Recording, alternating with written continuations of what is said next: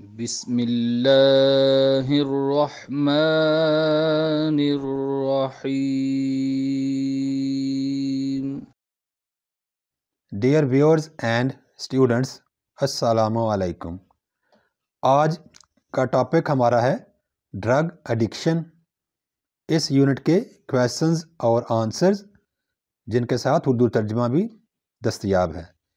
और ये यूनिट है unit number ten ninth class की इंग्लिश की टेक्स्ट बुक में। सबसे पहले हम एक्सरसाइज क्वेश्चंस करेंगे। Exercise question number one. What are the effects of drug addiction what are क्या हैं द इफ़ेक्ट्स असरात ऑफ़ ड्रग एडिक्शन नशे की आदत के? नशे की आदत के असरात क्या होते हैं?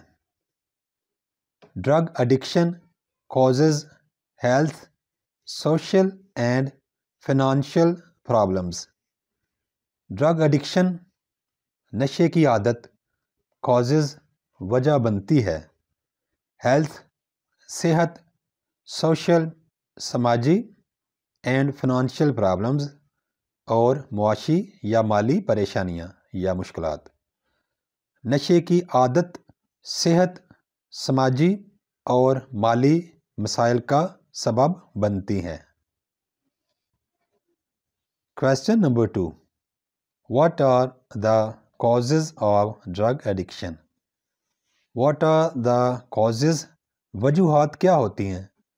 ऑफ़ ड्रग एडिक्शन नशे की आदत की। नशे की आदत की वजूहत क्या हैं? Bad fellows, psychological and domestic problems cause drug addiction. Bad fellows, बुरे दोस्त साइकोलॉजिकल नफसियाती एंड डोमेस्टिक और घरेलू प्रॉब्लम्स परेशानियाँ कॉज ड्रग एडिक्शन नशे की आदत का बायस होती हैं बुरे दोस्त नफसियाती और घरेलू परेशानियाँ नशे की आदत का सबब बनती हैं। Question number three what important role do rehabilitation centres play to control drug addiction what important role कौन सा अहम किरदार डू रिहेबिलिटेशन सेंटर्स प्ले बहाली के मराकज़ अदा करते हैं। टू कंट्रोल कंट्रोल करने में ड्रग एडिक्शन नशे की आदत। नशे की आदत को कंट्रोल करने में बहाली के मराकज़ कौन सा अहम किरदार अदा करते हैं? Rehabilitation centres cure and take care of the drug addicts rehabilitation centres बहाली के मराकज़ क्योर इलाज करते हैं एंड टेक केयर और ध्यान रखते हैं ऑफ़ द ड्रग एडिक्ट्स नशा करने वाले अशास के। नशा करने वाले अफराद का इलाज और उनकी देखभाल के लिए बहाली के मराकज़ कायम किए गए हैं। Question number four what is the role of counselling in preventing drug addiction what is the role क्या किरदार है? अब काउंसलिंग काउंसलिंग का या मशवरे का, इन प्रिवेंटिंग रोकने में ड्रग एडिक्शन नशे की आदत। नशे की आदत को रोकने में काउंसलिंग या मशवरे का क्या किरदार होता है? Drug addiction can be minimised if patients act upon doctor's advice drug addiction नशे की आदत कैन बी मिनिमाइज्ड इसको कम किया जा सकता है इफ़ अगर पेशेंट्स मरीज़ एक्ट उपान अमल करते हैं डॉक्टर्स एडवाइस डॉक्टर की नसीहत पर। नशे की आदत को कम किया जा सकता है अगर नशा करने के आदि मरीज़ डॉक्टर की नसीहत पर अमल करें। Question number 5 Why do families feel reluctant to take the drug victims to drug rehabilitation centers?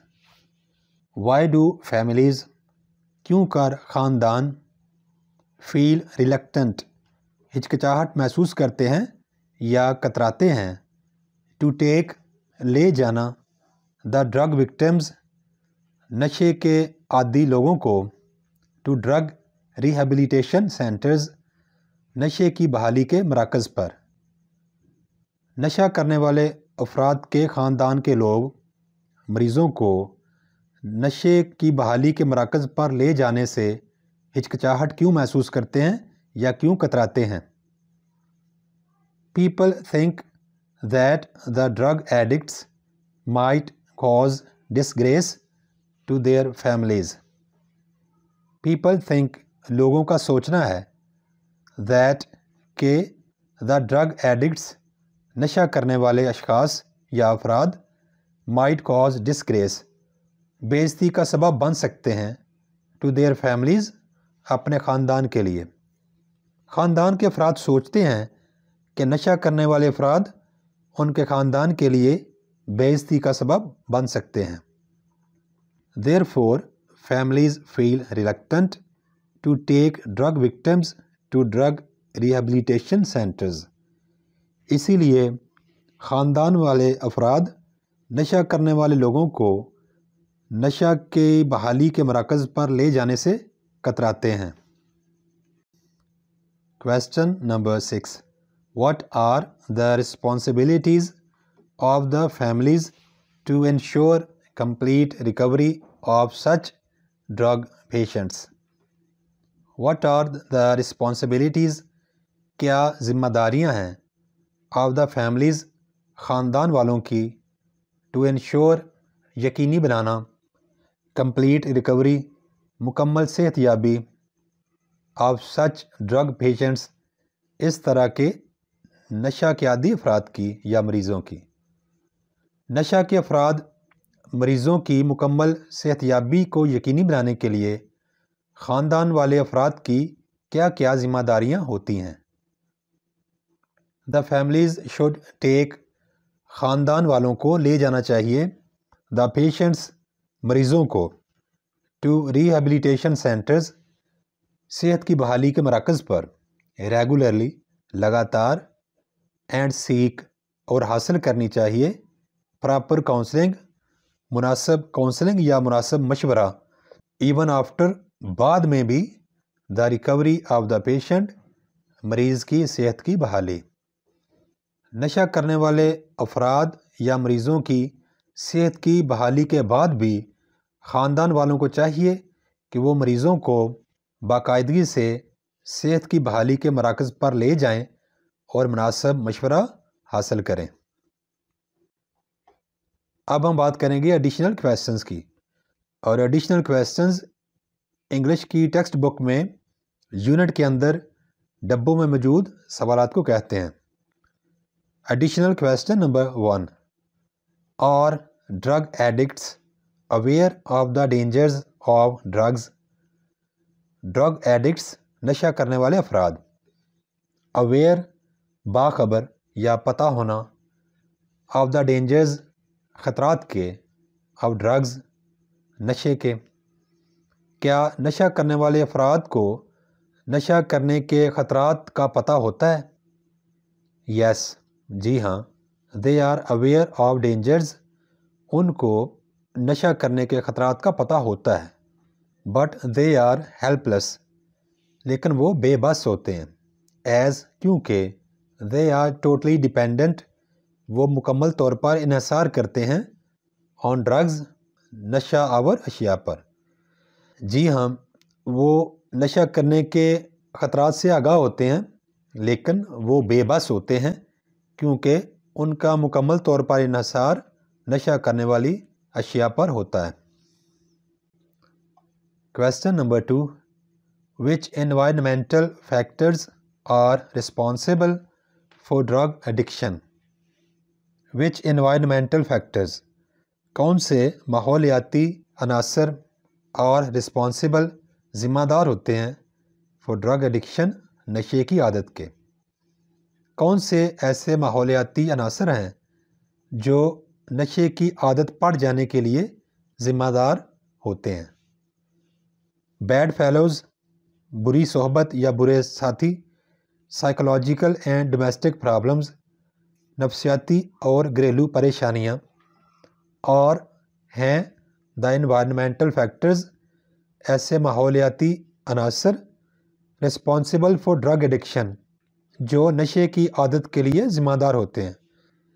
बुरे दोस्त, नफसियाती और घरेलू मसाइल ऐसे माहौलियाती अनासर हैं, जो नशे की आदत के लिए ज़िम्मेदार होते हैं।